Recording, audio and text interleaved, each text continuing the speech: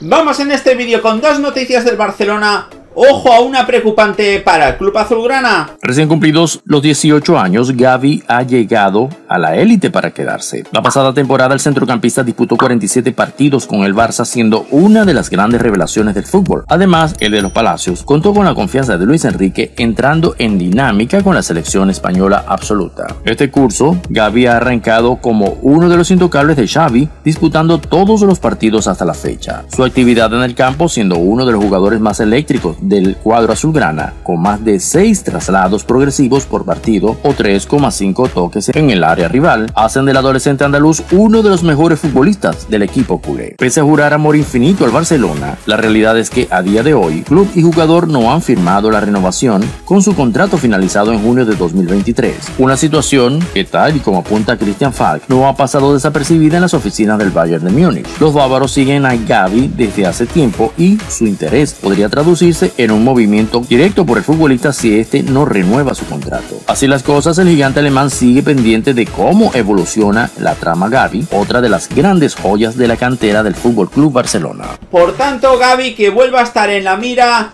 de un Bayern de Múnich que le tiene ganas al Barça tras haberle arrebatado a Robert Lewandowski. Vamos ahora a hablar de un adiós emotivo de dos amigos que han compartido estos últimos meses en el Fútbol Club Barcelona. En medio de una temporada difícil para el Fútbol Club Barcelona tras la eliminación en la primera fase de la Champions, la incorporación de Pierre-Emerick Aubameyang fue clave para el resurgimiento del cuadro azulgrana que vivió una racha de 15 partidos sin perder a principios de 2022. Pero la labor del gabonés no solo se ha limitado a su actuación dentro del campo. El atacante, que hoy milita en las filas del Chelsea, ha sido clave para terminar convenciendo a Ousmane Dembélé de permanecer en el Barça llegó en un momento en el que todo parecía apuntar que el francés sería enviado a otro equipo, además de verse condenado al ostracismo por parte de la directiva al no renovar en su último año de contrato. Aubameyang y Dembélé ya se conocían de su paso por el Borussia Dortmund. Al coincidir nuevamente en el vestuario, el gabonés supo transmitirle ánimo y confianza, dejándole claro que su mejor decisión sería mantenerse en el club. Asimismo, Xavi Hernández le llamó para varios partidos pese a que el jugador se había ganado los pitos del Camp Nou en un par de ocasiones.